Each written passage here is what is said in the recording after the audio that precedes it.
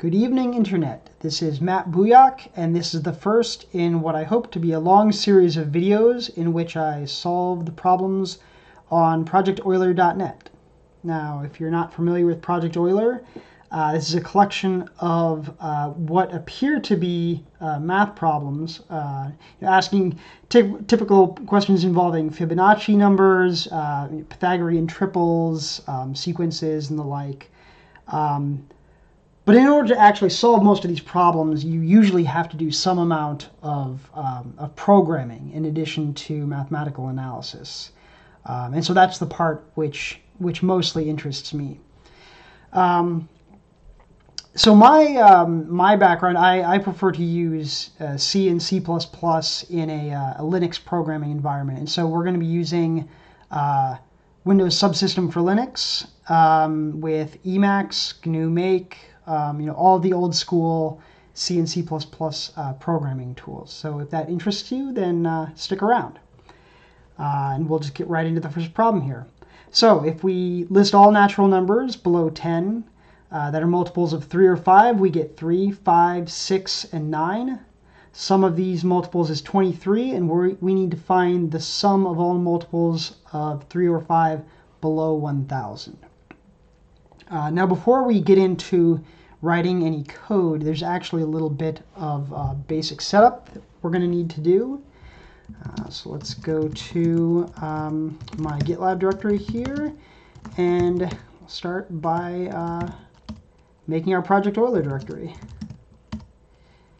now, uh, we're going to be solving a lot of these problems, and so I'm going to make sort of a template here um, so that I don't need to, some of the basic stuff I don't need to remake every single time. I can just copy this template directory.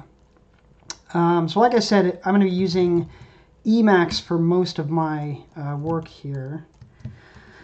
So let's just start off by uh, making our uh, main.cpp.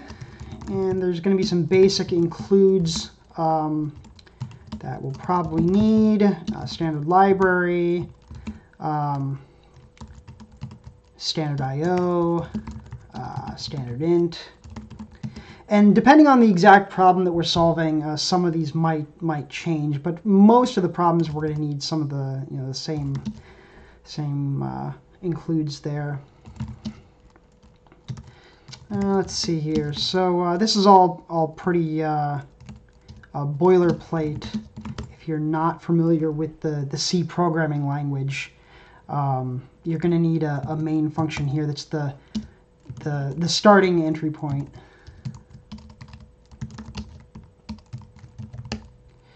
All right, so that's going to be the basic uh, main.cpp there. Um, so like I said, I'm also going to be using um, uh, GNU Make. So go in here.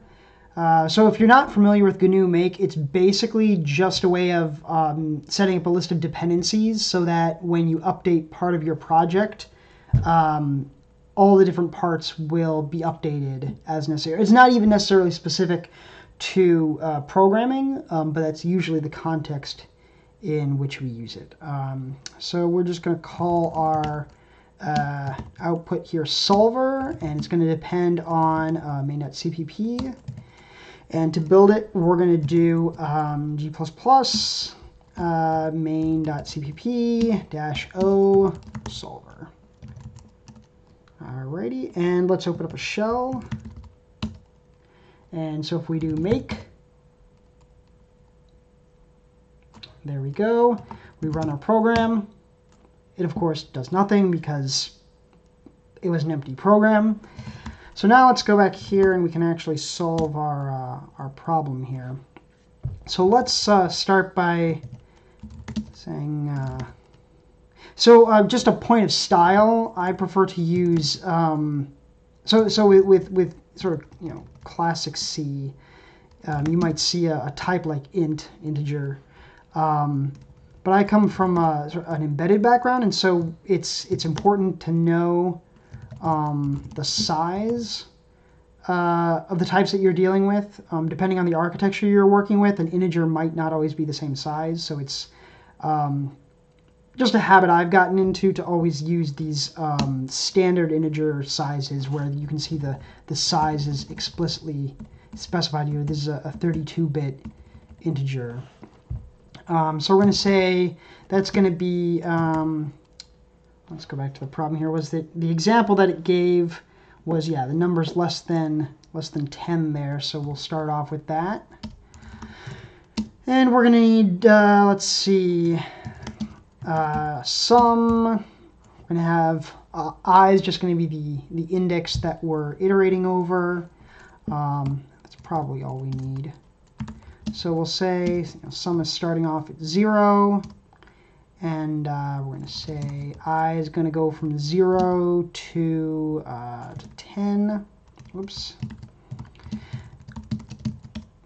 And then we'll say this is the, the basically the only line of the program that's that actually um, involves any sort of logic or thought, um, which is that we need uh, need our integer to be a multiple of either 3 or 5. And so um, the way you do that in C is you have this modulus operator, which is basically the, the remainder. And so what we're going to say is uh, the remainder when divided by 3 is equal to 0 or uh, the remainder when dividing by 5, let's uh, do that correctly there, um, is going to be equal to 0.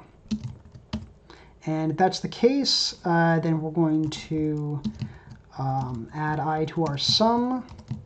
And then once we're done, we're going to say um, you know, sum equals uh, you know, unsigned integer, and that unsigned integer is going to be sum. And then we're going to say make. Um, so you can see here the advantage of, of using make. Um, in our case, the, the build process is very simple. It's just that one line. But uh, potentially you could have a much more complicated uh, build setup and no matter no matter what your setup, uh, if you're using make, you can just type make, and it'll it'll take care of it uh, if you've got everything set up correctly. So now let's run our solver, and we can see sum equals 23. So if we go back here to our um, to our problem, we can see that that agrees with the the example input. So now uh, what we're really interested in is the the sum less than a thousand. So we're going to go back over here and we're going to change our program to be less than a thousand make on our solver and this is where we find our first bug. So you'll notice I was a little this is why you don't use hard-coded values. There's a reason I, uh, I added that that constant at the at the beginning which is I was supposed to use that right there. And that's why we that's why we test to make sure that when we make stupid mistakes, we can catch them. Uh, so now we have our answer, uh, 233,168. And uh, if we go to back to the archives here, we can go to the problem and enter in our solution. And uh, wait a minute. Why is the answer already there? Well, it turns out I've actually solved a few of these already. Um, so I'm not quite coming at them fresh, but it has been quite a few years since I've looked at these. Um, but as you can see, that does match the, uh, the solution that we came up with. So that, uh, that solution was correct. Uh, for the next video, I'll actually uh, be taking an analysis-only approach to this problem. Um, this is one of the few problems you can actually solve without using any programming at all uh, if you want. So um, if that interests you, then uh, check that out.